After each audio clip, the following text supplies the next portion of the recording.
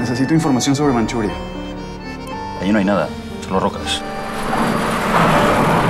Incluso en el medio de la nada siempre hay algo.